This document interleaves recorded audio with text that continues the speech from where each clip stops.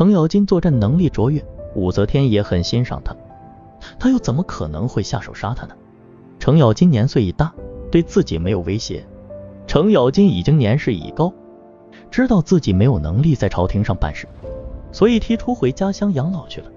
当时他手里没有任何实际权力，武则天也找不到理由对一个老人动手了。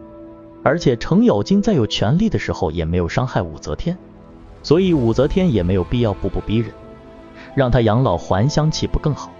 武则天考虑周到。这也是他统治期间国泰民安的原因之一。武则天去世后，整个王朝都陷入了混乱，这表明他的威望确实很高。